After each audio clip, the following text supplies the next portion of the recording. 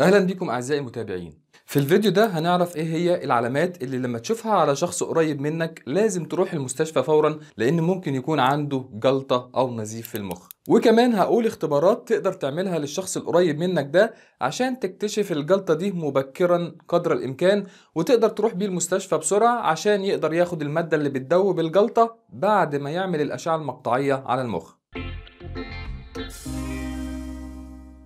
طبعا في علامات واضحة جدا وتقريبا كلنا نعرفها وهنقولها برضه عشان اللي ما يعرفهاش. العلامات دي لو لقيتها مع شخص قريب منك توديه المستشفى فورا.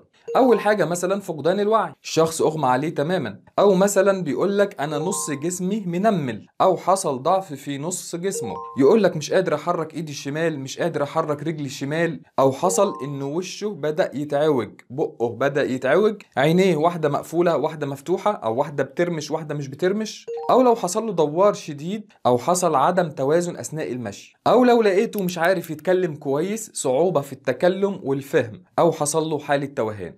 الحاجات دي تقريبا كلها لو حصلت الناس هتبقى عارفة شوية إن دي ممكن تكون حاجة اسمها ستروك أو جلطة أو نزيف في المخ. فالمفروض تروح المستشفى فورا.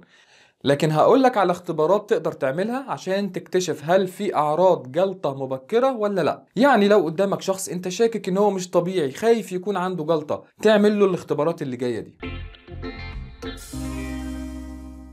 أول اختبار قول له وريني أسنانك. يعمل كده. لو جه يعمل كده لقيت بقه مايل بناحية يبقى ده فورا توديه المستشفى. الاختبار التاني قول له غمض عينيك وافرد ايديك الاتنين لقدام بالشكل ده وباطن ايده يبقى لفوق بالشكل ده ويكون مغمض عينيه لمدة 10 ثواني. لو حصل ان ايد فيهم سقطت لتحت أو وقعت لتحت في العشر ثواني دول يبقى وديه المستشفى فورا. الاختبار الثالث خليه يقول جملة معقدة نسبيا خليه يقول مثلا مثل شعبي زي مثلا الباب اللي يجيلك منه الريح سد واستريح. لو قالها بشكل كويس وطبيعي يبقى خلاص مفيش مشكلة لكن لو لقيته بطيء في الكلام بالشكل غير المعتاد بتاعه لو لقيته مش عارف يقول الجملة أصلا لو لقيت بيقول الكلام متداخل في بعضه يبقى وديه المستشفى فورا.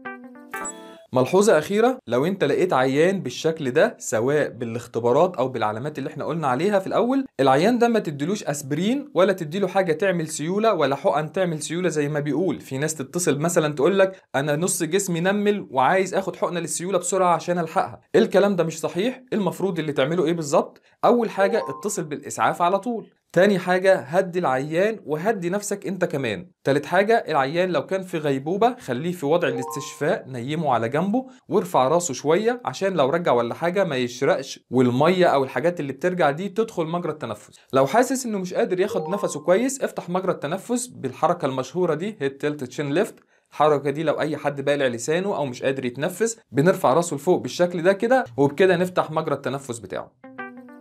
العيان ده المفروض يروح المستشفى فورا لأنه بياخد مادة تدوب الجلطه بس بعد عمل الأشعة المقطعية على المخ عشان يستبعدوا النزيف. في خلال 3 ساعات وفي بعض الحالات ممكن لحد 4 ساعات ونص. فلازم تتصرف بسرعة وتنقل العيان ده بسرعة.